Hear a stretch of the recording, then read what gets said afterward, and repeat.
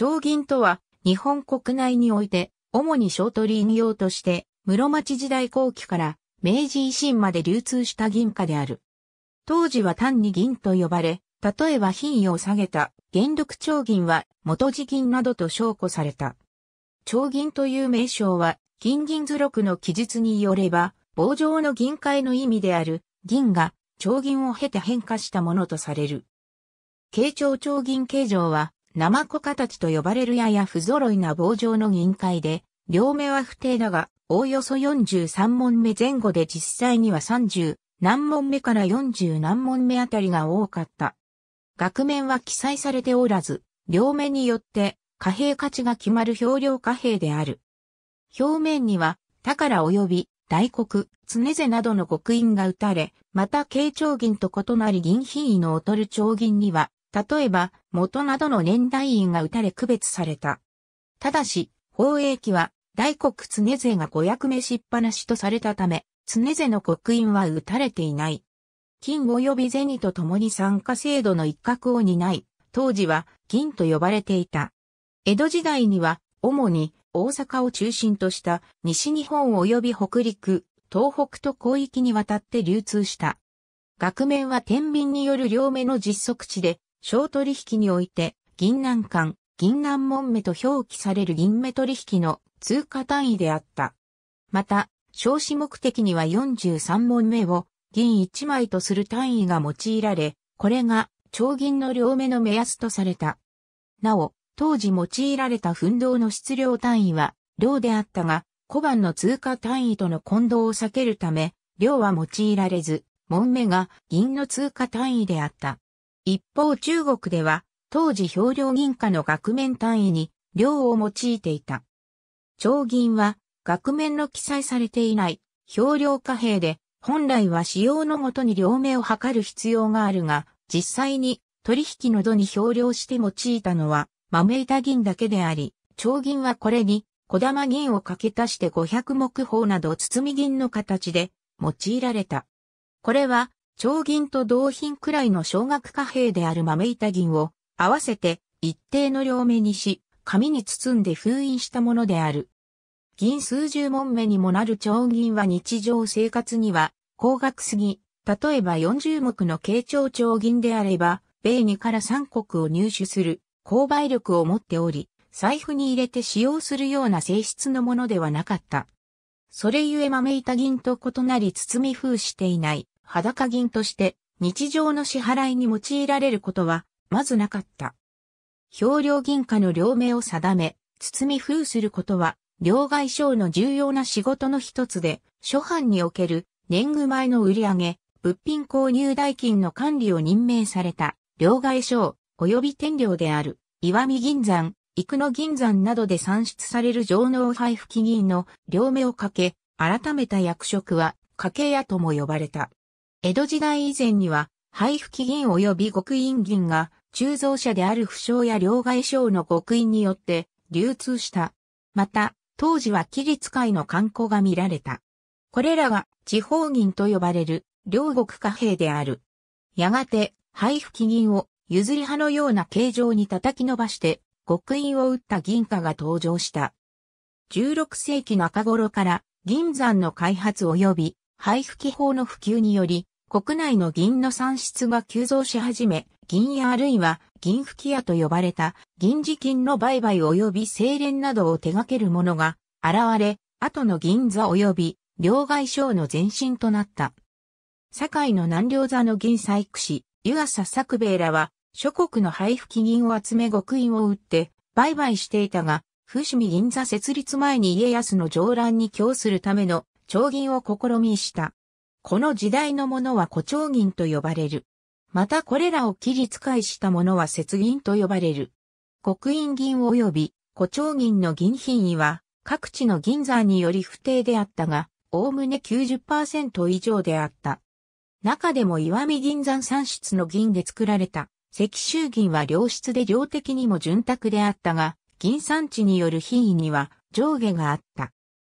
長銀や銀座が買い集めた配布銀などの銀品位は、配布機械上げ法とする上銀一貫目ならば、銀座において目方1.1倍の品位800、1000である、軽長銀つまり1貫100目で買い上げられ、これを1割イルレと称し、品位640、1000であれば、銀座において、目方0.704倍の軽長銀つまり704問目の軽長銀で買い上げられたため、2割9歩6インケと称された。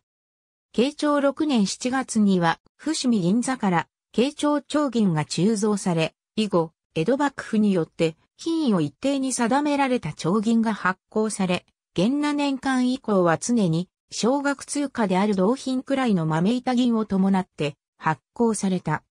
銀座では常に鋳造された長銀は、配布記法による正し吹きすなわち、銀品位の抜き取り検査が行われ、規定の品位の基準を満たさない場合は吹き戻され、作り直された。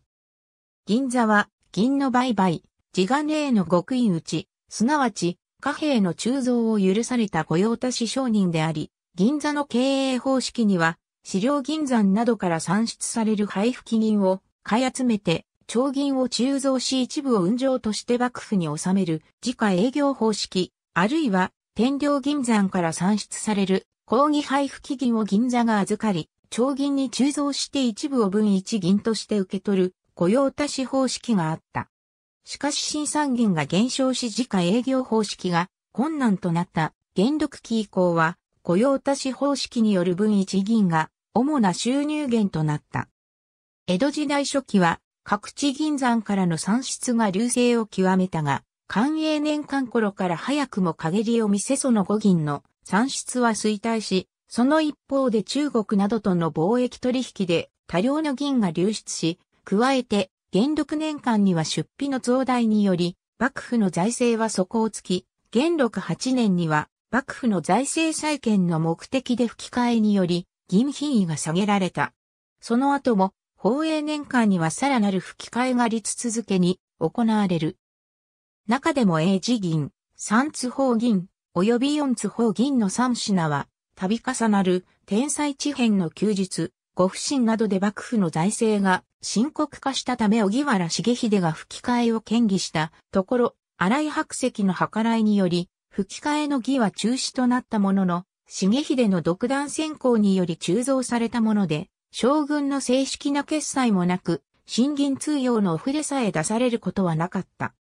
聖徳年間には、大国常瀬が復帰し、小判と共に、慶長の品位に戻されるが、一連の宝永銀の回収、海中の進捗は遅れ品位の異なる六種の銀が併用されることとなり、銀品位に応じて区別通用され、この状態は最終的に元禄及び宝永銀4品が通用停止となる享保7年末まで続いた。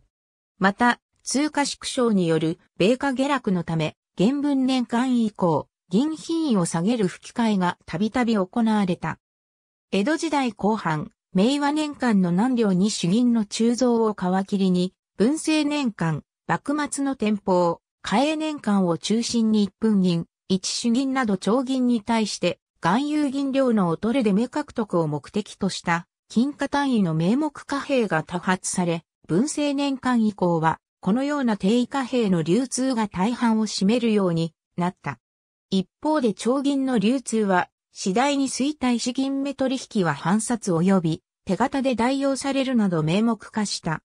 また、吹き替えの度に起こる旧銀の滞造や定位銀貨への改鋳に伴う長銀の不定、あるいは高額な長銀ではなく少額の銀目取引の必要性から、門目銭勘定が行われ、銀札に変えて専門目札が発行された。慶応4年5月に明治維新政府は銀目廃止の符令を出し、長銀は豆板銀とともに流通停止となった。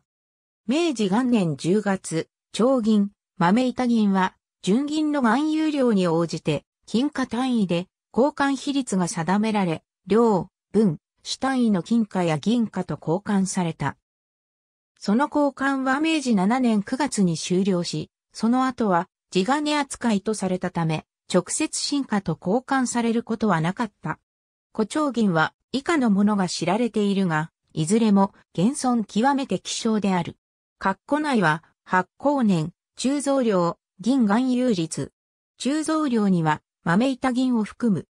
島根バーチャルミュージアム企画コーナー実際には、その範囲からやや外れたものも見られるが、20問目を切る小型のものや60問目を超える大型のものは極めて稀である。当時の精錬技術で最上級の純銀とされる南量あるいは花工銀。